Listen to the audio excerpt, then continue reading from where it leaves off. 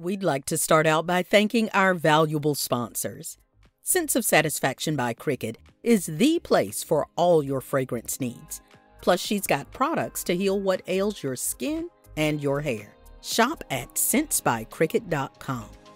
Special thanks to our valued sponsor, John Travis, a financial coach and certified Kingdom advisor with Richard Young Associates, a registered investment advisor.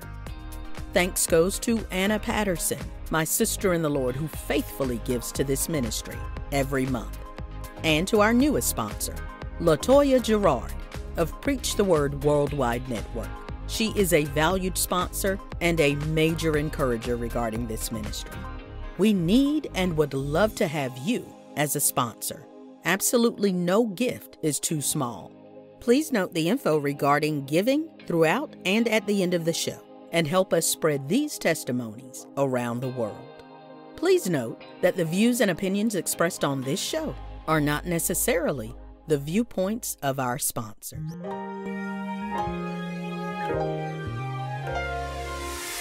It's time to hear the story, make the connection, learn the lesson, and gain the wisdom. Are you ready? Let's get charged and be changed. The Sister Speak Brother Break Show conversations on grace, healing, and deliverance. This is Marcey Bush. Come on, let's journey together. Whatever like that, I got to make it work. Mm-hmm. Like they say, I got to rob Peter to pay Paul. Right. Right. So I have to make some t- tough decisions, mm-hmm. you know. It was one time when Carlos was in college and he couldn't stay in the dorm, so he had to have an apartment. Mm-hmm. So that meant who got to pay for that apartment? Mm-hmm. So I had to make a decision whether I was going to continue to pay my car note or help my child. So I let that car go back. Mm-hmm.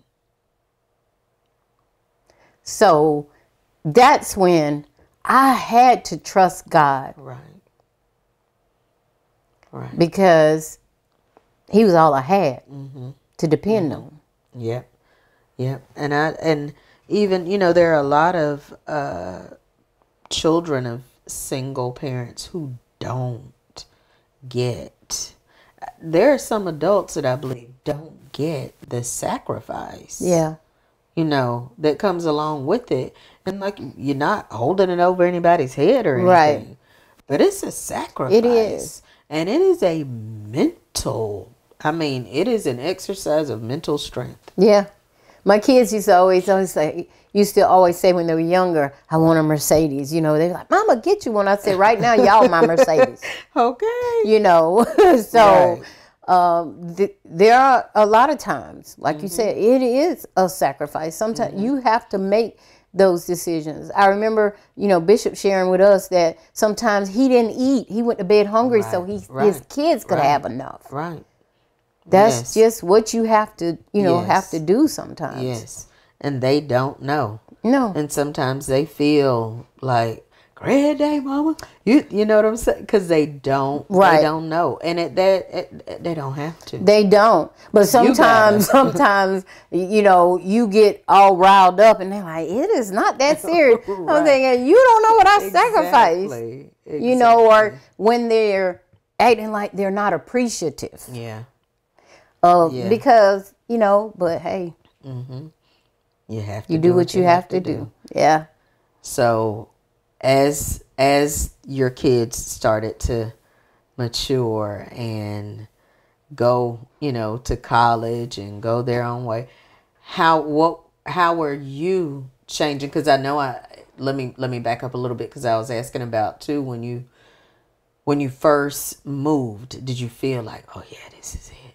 And you said no. That's when your trust was being established. Mm-hmm. Um, and yeah, your trust is always established when you don't know what to do. Mm-hmm. When you, as as pastor our pastor would say, when you don't have that footing, right? When you cannot feel like, oh, right, I don't know what's happening.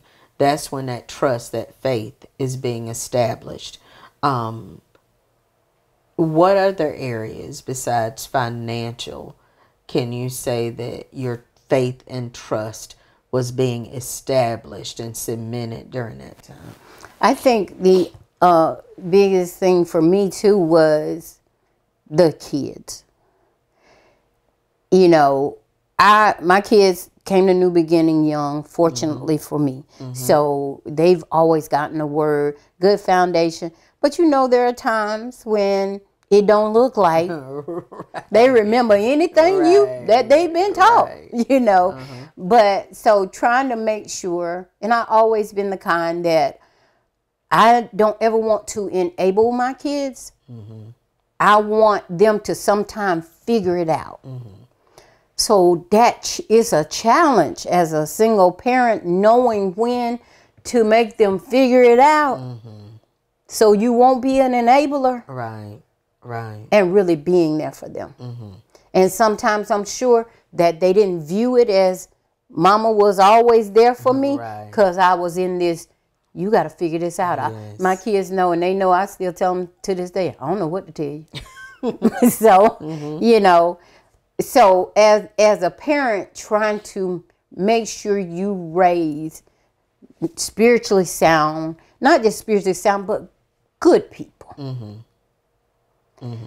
Trying to and do that with three people, trying to help make and, and mold them And all of them have their own personality. own personalities. Mm-hmm. And my oldest, he'll tell you to this day. I oh my favorite. I used to always tell him, you can't do what everybody else can do and get away with it right. because you got a calling on your life. Mm-hmm. Mm-hmm. And he remembers that to this day. But that was one of the things that trusting God to give me the ability to raise them into the purpose He put them here for. Right. Right.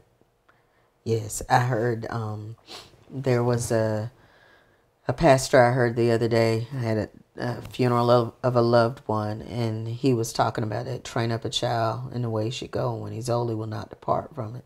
He said and I've often said it in a different way but he said when he's old he won't depart. I always said they ain't said nothing about the meantime Right? like train the child when he's old. It's like he knows what to come back to, hold on to, Right. and won't depart. Right. But right in there, Right in the middle. oh Yeah. it gets rocky, and that's when you truly got to be like, okay, God, I trust you. Yes. When I can't trust what they're doing, Yeah. when I can't trust what it's looking like, when Exactly. I, I'm gonna trust you. I know you love them more than I do. That's right. I know you got and who, but staying out of it. but you know what? Probably, even though again it didn't feel good, your mama sh- showed you how to do that, Yeah. how to not be an enabler, how Right. to, how to, you know, be there, but you got to work this, Yeah. and You got to figure it out. yeah, yeah. Yes. And I, like I said, I'm sure it did not feel good, but that's probably a lesson you didn't even know was embedded in you Didn't didn't know it. That showed up when it needed to show up. Exactly. And they and they're always better for it. Yeah. Uh, again, it might not look good, it might not, but in the end, it's gonna work. Yes. It's gonna work just like it worked for you, just like that was some of that route that got you to receiving from your mother-in-law and Yeah. all of that good stuff. Yeah. So the same in in your children. So what what are some of the other areas cuz I know that's a big gap from 5 from Carlos like being 5 to being 15, you know, and there was a lot going on in there. But what are some of the other things through you know, the other turns throughout that um how old were you when your mom passed away? Um, my mom passed away in 2008. Okay, now so let me say this because when I knew when I knew your mom, she was in a wheelchair at that Correct. point. What are some of the as she went through health challenges or whatever? What did that look like and feel like for you? Um, I think, of course, it was fearful, fear, because you don't know how she's gonna deal with it, what how everybody's gonna deal with it. There's a lot of unknowns for that, you know. Um, but Now, was she diabetic? She or- was my yeah, she was diabetic, and um, she had also had a um, open heart surgery. Okay. Um, but through that, my mom lived I think ten years without legs. Okay. Never heard a complaint about it. Okay. If anything, taught me how you live with adversity. Okay. You know what the verse that says, "Whatever state I'm in." Yeah. Yeah. I've learned there with to be content. Yes. Yes. Okay. If anything, I saw, like I said, mama was always a silent person, but I always saw the strength. Mm. The strength that we, I remember one time a doctor saying to her, most people, when they have both legs amputated, they give up. Because a lot of people, you know, don't want to live like that Right. Right. But she was not one of those people. She still went to church. She still, you know, she was mm-hmm. she was set in her ways. So it was certain ones of us she wanted to do. Okay. As Winnie will tell you, because mm-hmm. Winnie lived with her for, Right. you know, certain things she just wanted certain people to do for her. Mm-hmm. But she still lived her life, you know, even during all that. Yes. And now were y'all still that's when you were um did y'all were y'all doing family dinners then? That's what started the family dinners. Okay. When when Mama's health started to decline, we all started to come together Okay. to eat with her. Okay. Gotcha. And then after she passed, it just All right, so Vivian, I am glad we made it back to the couch. Um, last time we had to wrap up the last session, but now we're back here again together. And so we're going to continue this journey with you. So, um, you and the kids were out, you're on your own. Y'all, you've, you've talked about like starting, putting your kids into college and all this stuff and seeing what God has done in your life that at one point you maybe didn't know was possible, you know. You got your own place, you you have somebody in college and then, you know, you got two more children who I'm sure they started going their ways, but at this point, thinking about the 16 year old girl versus the one with three kids in your own place and it's happening things are going. How did you see yourself stronger or different or just what did that part of your life look like? Yeah, I think at that point, as I had made it through so many obstacles and challenges in my life, and seeing how God had strengthened me, not even knowing how much, honestly, He had strengthened me, mm-hmm. and just knowing you had people depending on you. Mm-hmm. Um, that because of the decisions that I make was going to determine right. their choices. Mm-hmm.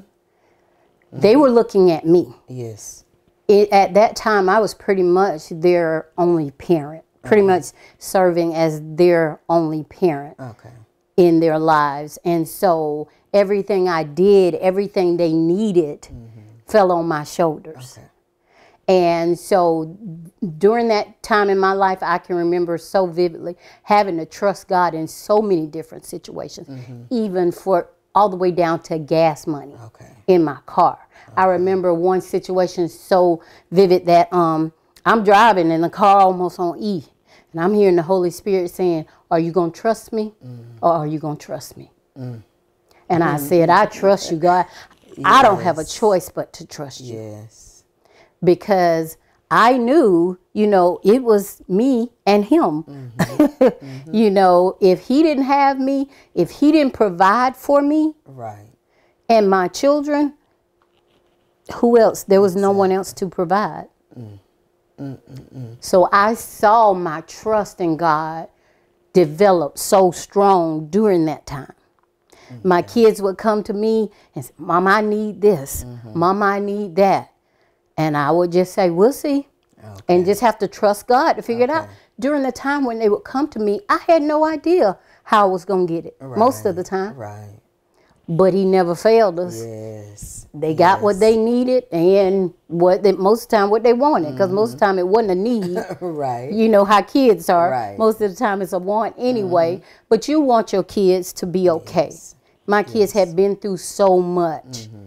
You know, so I wanted them to have so a, a level of normalcy in their lives Right. and not see, you know, how this affected mm-hmm. them. You know, of course it affected them because, like I said before, they were pulled into circumstances and situations and saw and heard things they shouldn't have never seen nor Right. heard or be have been a part of. Right. So once I got them out of that situation, mm-hmm.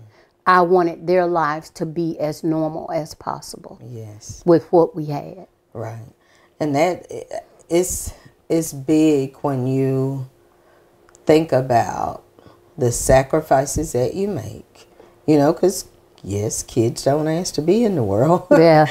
they come into the world and then they go through all these things, but I've seen so many mothers who feel like I'm grown. I do what I, you know, I'm do what I want to do. And but the, you know, yeah, I'm gonna make a decision. It's my life, but your life affects the lives of those children. Exactly. And like you said, what they see is normal, what they see is okay, how they move depends on how they were brought up. Right. Yeah, there are things that God will do in a person's life to like, you know, have them on a course, but at the same time, that environment plays a big, big role. It definitely does, and they're gonna they're gonna see it and they're gonna absorb it, whether it's good or bad. Mm-hmm.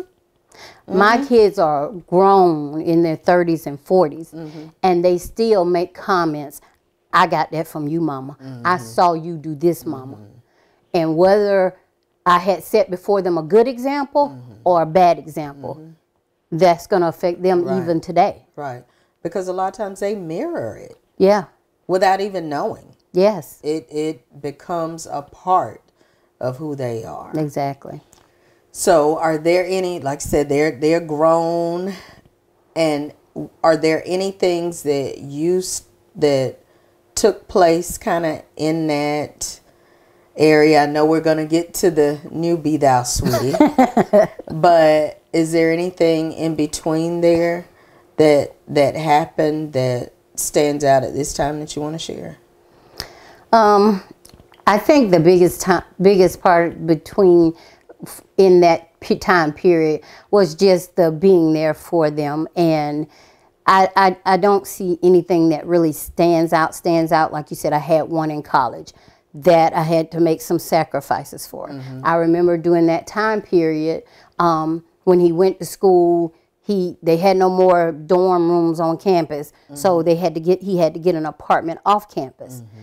So during that time, I had to pay for his part of the apartment. Mm-hmm. So I had not long gotten a, a car. And so it got to the point I couldn't afford to pay for the car and pay his portion of the rent. So I had to make a choice. Okay. And I made the choice to let the car go back. So that's one thing that stood mm-hmm. out. Like you talk about, you know, parents sometimes say, "Well, this is my life," mm-hmm. and but that's another thing. You know, choices that we have to make sometimes that don't work in our favor. Because Right. now I got to figure out because I still got to go to work Right. you know and that was right that during that time my main transportation you mm-hmm. know so that left me having to figure you know figure that out Okay. so and then at that time you know i had two still in high school mm-hmm. one playing football one mm-hmm. cheerleader a lot of money that goes into those when they're involved in those type of activities Right. And then, so, but you were living over here and they were schooling over there. They were. So then that's another transportation. thing. That's not. Fortunately, my oldest was driving, mm-hmm. And um, so but then that's I got to put gas in his car and mm-hmm. my car, you mm-hmm. know. But one but thing when about he went to college, well, yeah, didn't think about that. So the other two by then mm-hmm. they began, you know, to drive and stuff like that. One good thing about my kids, they always wanted to work early. That's they good. they always wanted to work.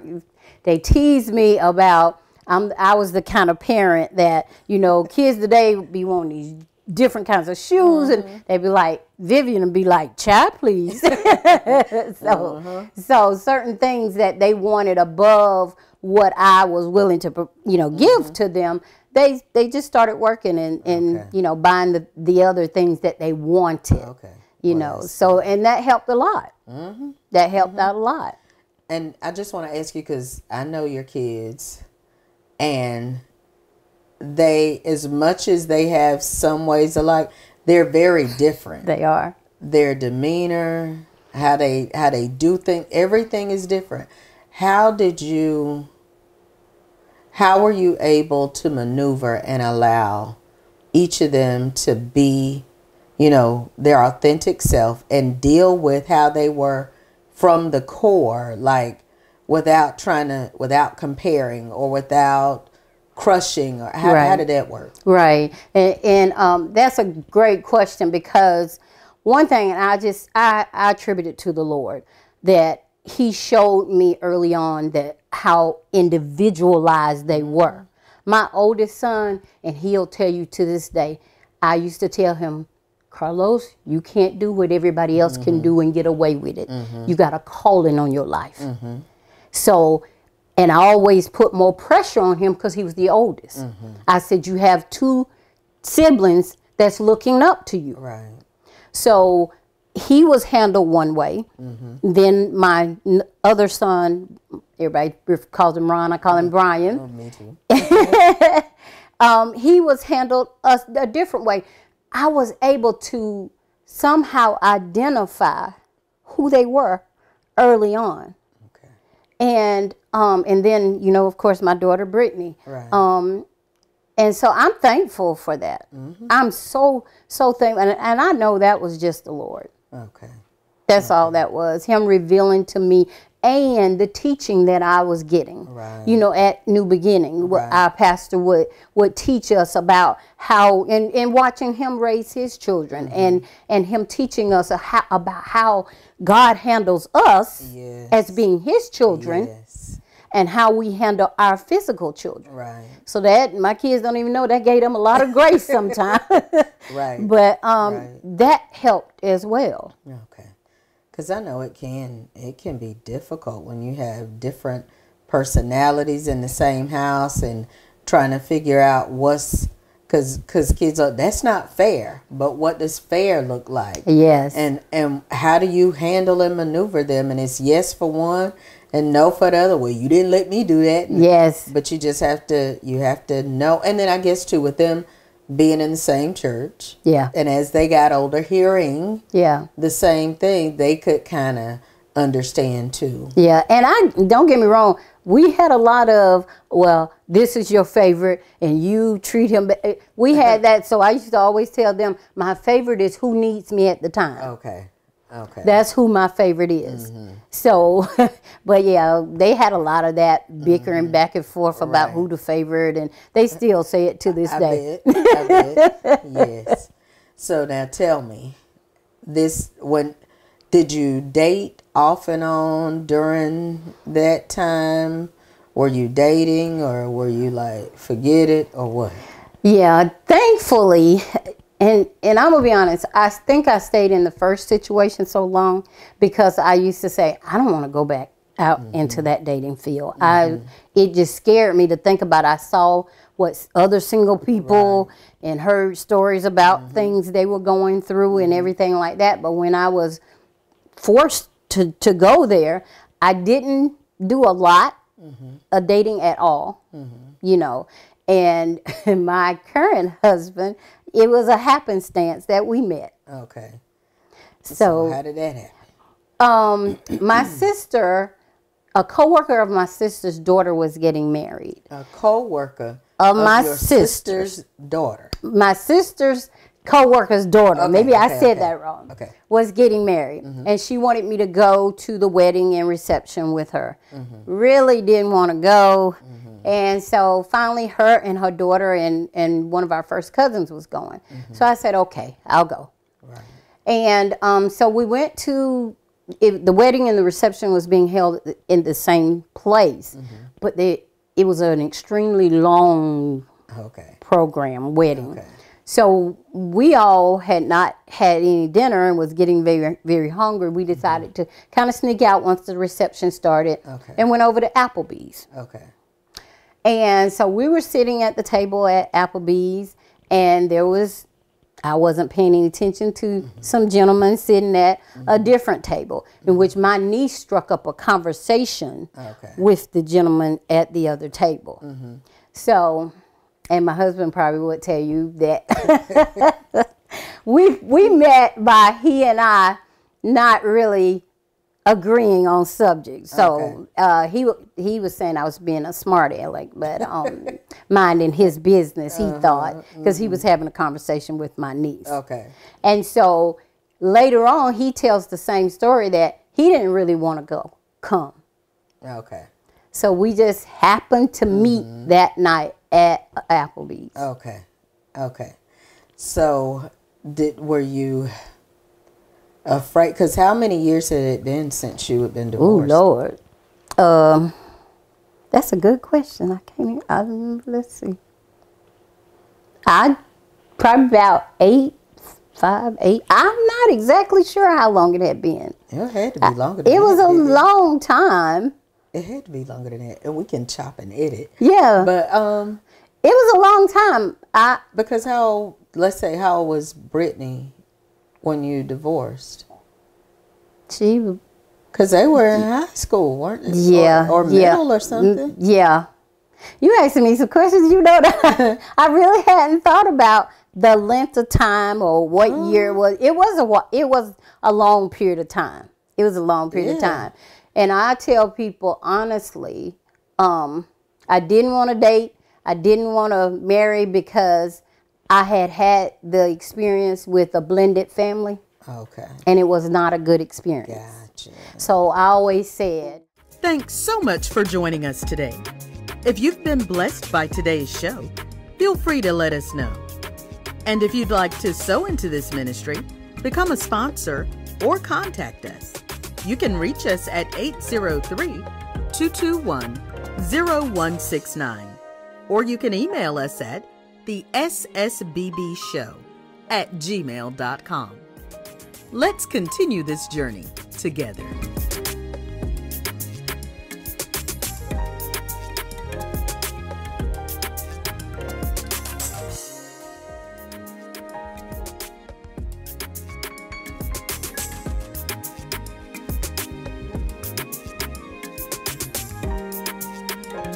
We need and would love to have you as a sponsor.